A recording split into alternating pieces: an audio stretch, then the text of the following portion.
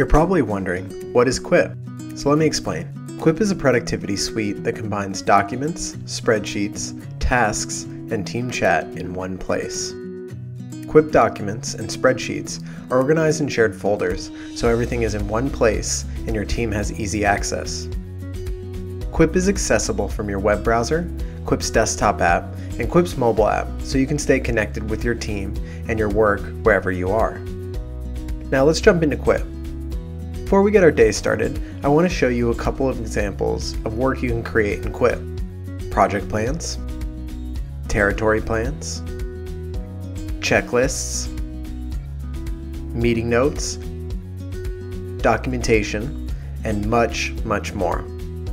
Let's navigate back to Quip's home screen so I can share with you what a typical day in Quip looks like. I recommend starting your day by checking the notifications in your notification bell. This is where you'll find all of your active notifications, where a teammate has mentioned you, shared a document, responded to a comment, liked something you wrote, or Quip is following up with a reminder on a task that's due soon. These are your most important notifications and the ones you'll want to take on every day. Quip was designed to help your team work more transparently, and the update screen shows you and your teammates' activity on all of the docs that you have access to. These are your passive notifications, the ones you can keep up with just to stay in sync with your team without the pressure of having to respond to any of them. As you look down the sidebar, you'll notice a list of favorites. You can add to this list by starring documents you'll want to keep a close tab on or will visit regularly. When you favorite a document, you may notice a numbered indicator. These tally updates or changes to the document since you last visited, so you can quickly jump in and see what's changed. It's a helpful way to keep up on the documents or chat rooms you care the most about. The sidebar is available on every screen in Quip, so you have easy access to your notifications, your work, favorites, and teammates. When you're done responding to your various notifications, you'll then want to create a document of your own. There are two ways to do that. First, you can create a new document in your private folder from the top right of any screen in Quip. But I'd recommend you try creating a document from one of your shared folders.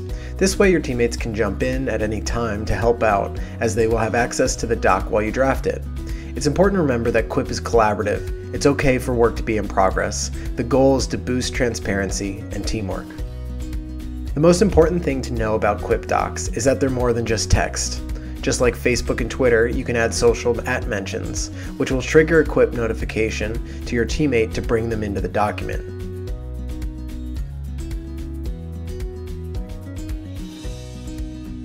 You can start bulleted lists. You can add images.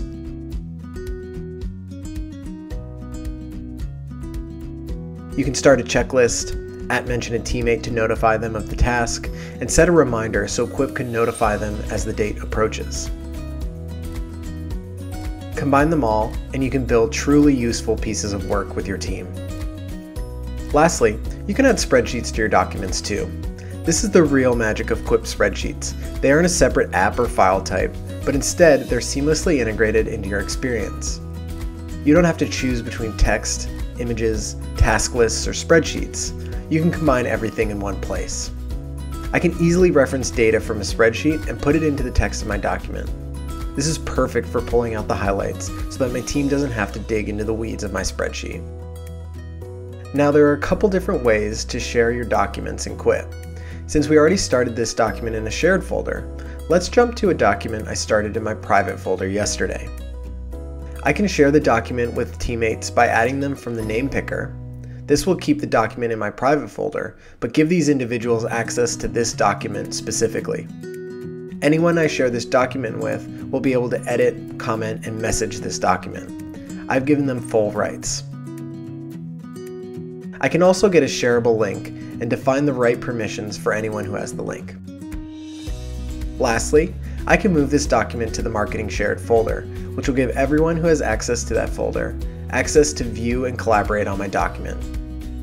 One last thing, I can share this document with external collaborators. This is perfect for contractors, consultants, or anyone else who you may work with who doesn't work at your company.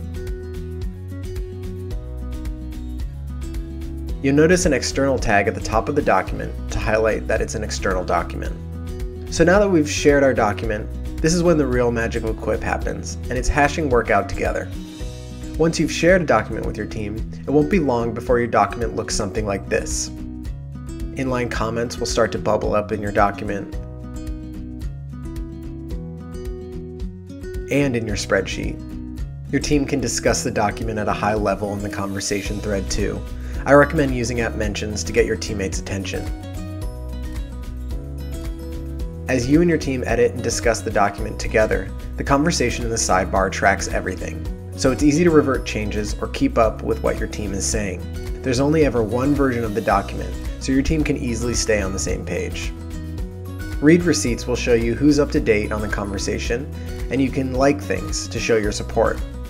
Quip is real time and lightweight. It's easy to give feedback, coordinate on plans, and make decisions. Quip gives your team context, so you're always discussing your work alongside your work. No more long email threads or siloed chat conversations. In Quip, everything is in one place on one screen. And my favorite part of Quip is that this is also true on mobile. Quip's mobile app, available on Android and iOS, is seriously awesome. When I leave work, I can stay connected with my team on the train home. I can pick up a conversation where it left off. I can start new documents and edit existing ones, adding tasks and assigning the work to teammates. Spreadsheets even work really well. It's easy for me to adjust a number or fix a calculation on the fly.